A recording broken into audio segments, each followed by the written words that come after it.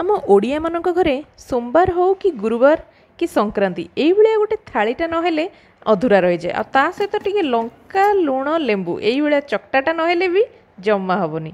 ତ ଚାଲନ୍ତୁ ଦେଖିନେବା ଆଜିର ଥାଳିରେ ମୁଁ କ'ଣ କ'ଣ ବନେଇଛି ତ ଫାର୍ଷ୍ଟରେ ମୁଁ ଡାଲମା ବନେଇବି ଡାଲମା ବନେଇବା ପାଇଁ ମୋ ପାଖରେ ଯେଉଁ ବି ପରିବା ଆଭେଲେବୁଲ୍ ଥିଲା ମୁଁ ସବୁକୁ ଏଠି କାଟିକି ନେଇଯାଇଛି ଆଉ ସେମ୍ ଆମାଉଣ୍ଟର ଏଠି ମୁଗ ଡାଲି ଆଉ ମସୁର ଡାଲିକୁ ମୁଁ ଟିକେ ସମୟ ବତୁରେଇକି ରଖିଦେଇଥିଲି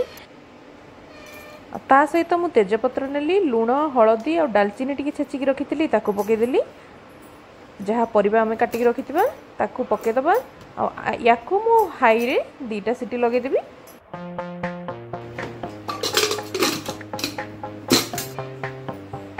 ତା ସହିତ ହେବ କଦଳୀ ଆଳୁ ଭଜା ଯେଉଁଥିପାଇଁ କି ମୁଁ ଏଠି ଆଳୁଟାକୁ ଏମିତି ଗୋଲ ଗୋଲ କରି କାଟିନେବି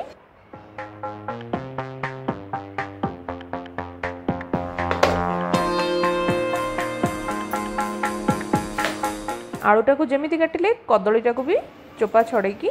ମୁଁ ସେମିତି ଗୋଲ ଗୋଲ ହିଁ କାଟିନେବି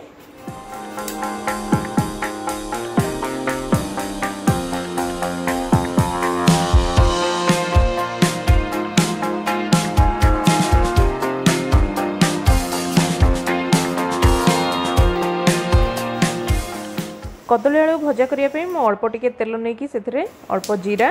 ଶୁଖିଲା ଲଙ୍କା ଆଉ କଦଳୀ ଆଳୁକୁ ପକାଇଦେବା ସ୍ୱାଦ ଅନୁସାରେ ଆମେ ଲୁଣ ଆଉ ହଳଦୀ ପକାଇକି ଏହାକୁ ଭଲସେ ମିକ୍ସ କରିଦେବା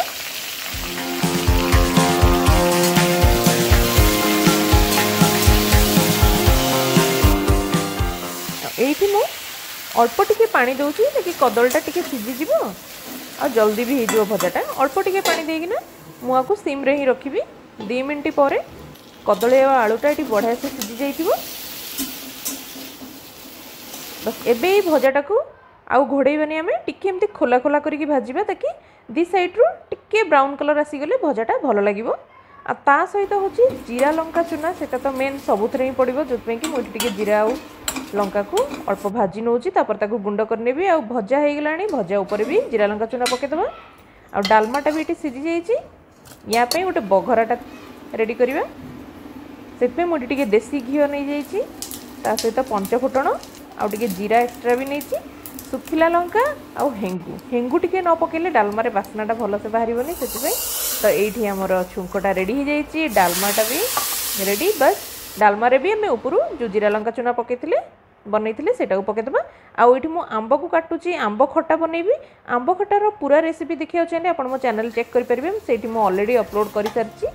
ଆଉ ଏଇଠି স্পেশাল থাড়িটা রেডি হয়ে যাচ্ছি ভাত ডালমা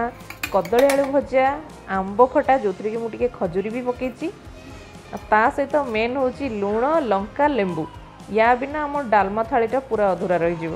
ତ ଆପଣମାନଙ୍କୁ ଆଜିର ଏସବୁ ରେସିପି ଗୁଡ଼ାକ କେମିତି ଲାଗିଲା ଜଲ୍ଦି ଜଲ୍ଦି ଟିକେ କମେଣ୍ଟ କରିକି ଜଣାଇବେ